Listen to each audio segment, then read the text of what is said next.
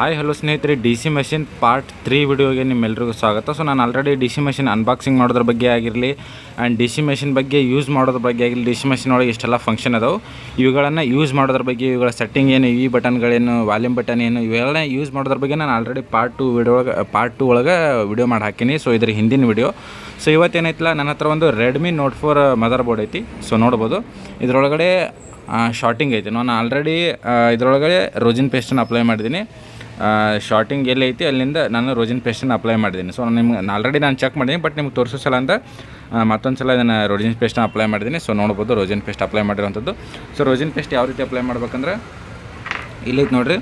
ಇದು ರೋಜಿನ್ paste so ರೋಜಿನ್ ಪೇಸ್ಟನ್ನ ಈ ರೀತಿ ಕೈಯಾಗಿ ಹಿಡ್ಕೊಳ್ಳಿ ನಿಮ್ಮ ಸಾಲ್ಡ್ರ್ ಮಷಿನ್ ಇರ್ತೈತಿಲ್ಲ ಸಾಲ್ಡ್ರಿಗನ್ನ ಹಾಂ ರೀ. ಇನ್ನೂ ಆಗಿಲ್ಲ ರೀ ನೋಡ್ತೀನಿ ರೀ ನೋಡ್ತೀನಿ ರೀ ಸಾದ್ರೆ ಹಾಂ ರೀ. ಸೊ ನೋಡಿರಿ ಇದು ರೋಜಿನ್ ಪೇಸ್ಟ ರೋಜಿನ್ ಪೇಸ್ಟಿಗೆ ಈ ರೀತಿ ಸಾಲ್ಡ್ರನ್ನ ಹಿಡಿದಕ್ಕಿಂತ ಈ ರೀತಿ ಬೋರ್ಡ್ ಮ್ಯಾಗ ಸ್ಮೋಕ್ ಮಾಡಿರಿ, ಸರಿನಾ? ಸೊ ಡೈರೆಕ್ಟಾಗಿ ಇದನ್ನು ಬೋಡಿಗೆ ಹಿಡಿಯೋಕೆ ಹೋಗ್ಬೇಡ್ರಿ ಸಾಲ್ಡ್ರಗನ್ನ ಜಸ್ಟ್ ಇದ್ರ ಸ್ಮೋಕ್ ಏನೈತಲ್ಲ ಇಲ್ಲಿ ಬಡಿಬೇಕು, ಸರಿನಾ? ಸೊ ಈ ರೀತಿ. ನಾನು ಆಲ್ರೆಡಿ ಆಲ್ಮೋಸ್ಟ್ ಅಪ್ಲೈ ಮಾಡಿದ್ದೀನಿ ಹೊಳೆ ಅಪ್ಲೈ ಮಾಡೋಕೆ ಹೋಗಲ್ಲ. ಸೊ ನಿಮ್ಗೆ ತೋರಿಸೋ ಸಲ ಹಂಗೇನೈತಿ ಜಸ್ಟ್ ಹೇಳಿದೆ. ಸರಿನಾ? ಯಾವ ರೀತಿ ಅಪ್ಲೈ ಮಾಡ್ಬೇಕಂತ? ಇಲ್ಲಿ ಕೂಡ ಅಪ್ಲೈ ಮಾಡೀನಿ. ಇಲ್ಲಿ ನೋಡ್ರಿ, ಯಾಕಪ್ಪ ಅಂದ್ರೆ ಇಲ್ಲಿ ಫ್ಯೂಸ್ ಐತೆ ಒಂದು. ಸರಿನಾ? ಆ ಫ್ಯೂಸ್ ಏನೈತಲ್ಲ ಪ್ರೊಟೆಕ್ಷನ್ ತಡ್ಕೊಳಕ್ಕೆ ಆಲಾರ್ಕ ನಮ್ಮ ಡಿ ಸಿ ಮಷಿನ್ದು ಎಂ ಜಾಸ್ತಿ ಇಟ್ಟಿರ್ತೀವಲ್ಲ ಎಂಪೈರ್ ಸೊ ಅದನ್ನು ತಡ್ಕೊಳಕ್ಕೆ ಆಲಾರ್ಕ ಆ ಕಾಯಿಲ್ ಕೂಡ ಶ, ಇಲ್ಲಿ ನಮ್ಗೆ ಶಾರ್ಟಿಂಗ್ ತೋರ್ಸಾಗತ್ತೈತೆ ಸರಿನಾ? ಸೊ ಅದಕ್ಕೋಸ್ಕರ ನಾನು ಇಲ್ಲಿ ಕೂಡ ರೋಜಿನ್ ಪೇಸ್ಟನ್ನ ಅಪ್ಲೈ ಮಾಡಿದ್ದೀನಿ ಸೊ ನೋಡಿರಿ ಡಿ ಸಿ ಮೆಷಿನನ್ನು ಆನ್ ಮಾಡ್ತೀನಿ.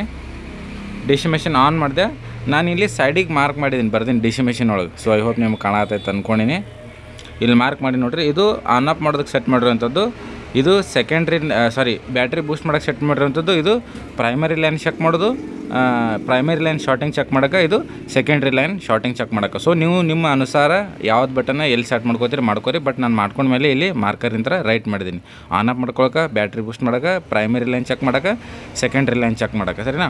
ಸೊ ನಾನು ನಿನ್ನೆ ವಿಡಿಯೋದಾಗ ಹೇಳಿದ್ದೀನಿ ನಿಮ್ಮ ಅನುಸಾರ ನೀವು ಯಾವ್ದು ಬಟನ್ನ ಎಲ್ಲಿ ಚೆಕ್ ಮಾಡೋ ಸೆಟ್ ಮಾಡ್ಕೋತೀರಿ, ಮಾಡ್ಕೋರಿ. ಸರಿನಾ? ಸೊ ನಾನು ಪ್ರೈಮರಿ ಲೈನ್ ಶಾರ್ಟಿಂಗ್ ಚೆಕ್ ಮಾಡ್ಬೇಕಾಗಿತ್ತು. ಸರಿನಾ? ಸೊ ನಾನು ಎಂ ತ್ರೀ ಹೊಡಿತೀನಿ ಬಟನ್ನ ಎಂ ತ್ರೀ ಹೊಡೆದ. ಪ್ರೈಮರಿ ಲೈನ್ ನೋಡಿರಿ. ಫೋರ್ ವೋಲ್ಟೇಜ್ ಸೆಟ್ ಮಾಡ್ಕೊಂಡಿದ್ದೀನಿ ಎಂಪೈರ್ ಏನಿತ್ತಲ್ಲ ಫೈವ್ ಎಂಪೈರ್ ಸೆಲೆಕ್ಟ್ ಮಾಡ್ಕೊಂಡಿನಿ ಸರಿನಾ? ಇವಾಗ ನಾನು ಇದಕ್ಕೆ ಹೊಂದಾಣಿಕೆ ಆಗುವಂಥ ಒಂದು ಬ್ಯಾಟ್ರಿ ಕನೆಕ್ಟರ್ನ ಫೈಂಡ್ ಮಾಡ್ಕೊತೀನಿ. ಸೊ ಇದರ ಬ್ಯಾಟ್ರಿ ಕನೆಕ್ಟರ್ ಎಲ್ಲೈತೆ ಅಂತ ಹೇಳಿ ಫೈಂಡ್ ಮಾಡ್ತೀನಿ. ಸೊ ವಿಡಿಯೋ ಕಂಪ್ಲೀಟ್ ಆಗಿ ನೋಡಿರಿ. ಏನು ತನಕ ನೋಡಿರಿ ಅಂದ್ರೆ ನಿಮ್ಗೆ ಅರ್ಥ ಆಗುತ್ತೆ. ಸ್ಕಿಪ್ ಮಾಡಿ ವಿಡಿಯೋ ನೋಡೋಕೆ ಹೋಗ್ಬೇಡ್ರಿ. ಪ್ರತಿ ಒಂದು ಸೆಕೆಂಡ್ನು ತುಂಬ ಇಂಪಾರ್ಟೆಂಟ್ ಇರ್ತೈತಿ. ಸೊ ವ್ಯೂಸ್ಗೋಸ್ಕರ ಮಾತು, ಮಾ, ಹೇಳಕತ್ತೇವ ಅನ್ಕೊಬೇಡ್ರಿ ವ್ಯೂಸ್ ಅದು ನಮ್ಮ ಬಿ, ನಮ್ಮ ಪರ್ಸನಲ್ ಬಿಟ್ಕೊಟ್ಟಿದ್ದಂದು ವ್ಯೂಸ್ ವ್ಯೂಸ್ ಬರ್ತೋ, ಬಿಡ್ತೋ ಗೊತ್ತಿಲ್ಲ. ಬಟ್ ನಿಮಗೆ ನಾಲೆಜ್ ಸಿಗಲಿ ಅನ್ನೋದು ಅಷ್ಟೇ ನನ್ನ ಉದ್ದೇಶ. ಸೊ ಐ ಹೋಪ್ ಈ ಕರೆಕ್ಟ್ ಕರೆಕ್ಟ್ ಕನೆಕ್ಟರ್ ಬರ್ತೈತೆ ಅಂದ್ಕೊಂಡಿನಿ ಇವಾಗ ನೋಡಿ ನಾನು ಬ್ಯಾಟ್ರಿ ಕನೆಕ್ಟರ್ನ ಹಾಕಿದೆ. ಬ್ಯಾಟ್ರಿ ಕನೆಕ್ಟರ್ ಹಾಕಿದ ಕೂಡಲೇ ಯಾವುದೇ ಬಟನನ್ನು ಪ್ರೆಸ್ ಮಾಡಿದೆ. ಇವಾಗ ನೋಡಿರಿ ನಾನಿಲ್ಲಿ ಆನ್ ಆಫ್ ಮಾಡ್ತೀನಿ. ಇನ್ನೂ ಕರೆಂಟ್ ಕೂಡ ಬಂದಿಲ್ಲ ನಾನು ಆಲ್ರೆಡಿ ನಾನು ಈ ಆನ್ ಆಫ್ ಬಟನ್ ಬಗ್ಗೆ ಹೇಳೀನಿ. ಈ ಬೋರ್ಡಿಗೆ ಈ ಕನೆಕ್ಟರ್ದೊಳಗೆ ಇನ್ನೂ ಕರೆಂಟ್ ಸಪ್ಲೈ ಬಂದಿಲ್ಲ. ನಾವು ಈ ಬಟನ್ ಹೊಡೆದ್ರೆ ಮಾತ್ರ ಸಪ್ಲೈ ಬರ್ತೈತಿ. ಸೊ ನೋಡಿರಿ, ಬೋರ್ಡ್ ಈ ಕಡೆ ಇಡ್ತೀನಿ.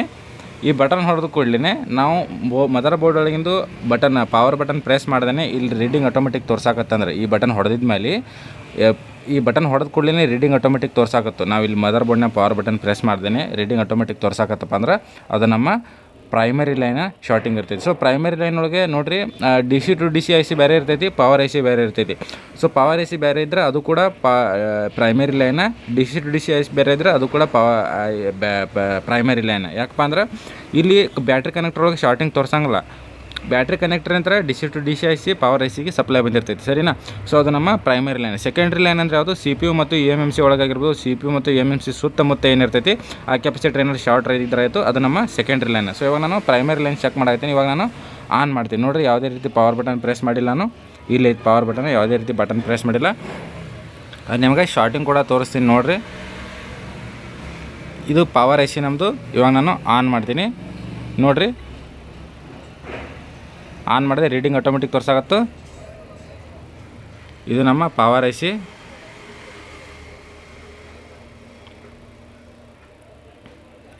So I hope ನಿಮ್ಗೆ ಮೆಲ್ಟ್ ಆಗೋದು ಕಾಣಿಸಾಗತ್ತೆ ಅಂತ ಅಂದ್ಕೊಂಡು ಸ್ವಲ್ಪ ಜೂಮ್ ಮಾಡ್ಕೊಡ ತೋರಿಸ್ತೀನಿ.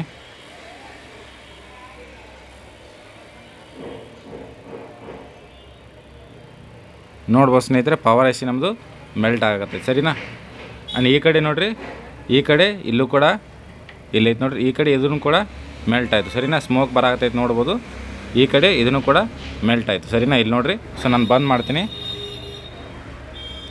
ಸೊ ಐ ಹೋಪ್ ನೋಡಿರಿ ಈ ರೀತಿ ಶಾರ್ಟ್ ಪಾಯಿಂಟಿಂಗ್ ಮಾಡ್ಬೋದು. ಸರಿನಾ?